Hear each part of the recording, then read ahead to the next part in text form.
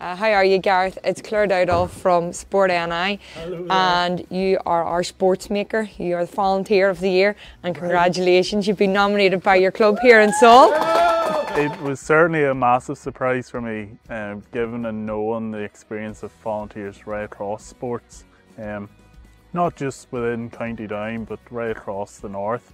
You know, there's a lot more deserving than me um, but it is nice to be recognised for not just what I do from a photography side and the press side, but also in the background with grants. As you'll see with new lights, with a new community trail, and um, with a play park, we're doing our car park up, and um, we got a new MUGA, um, and they're all grant applications that I was involved in and securing the funding for.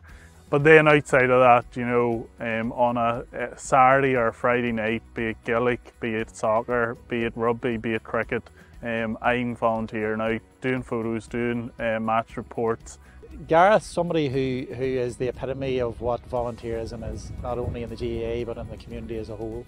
Um, he's always prepared to do the hard yards, he's always prepared to do the difficult jobs, always quiet in the background, always um, steering away from any recognition of any kind, just wants to help his club and his community.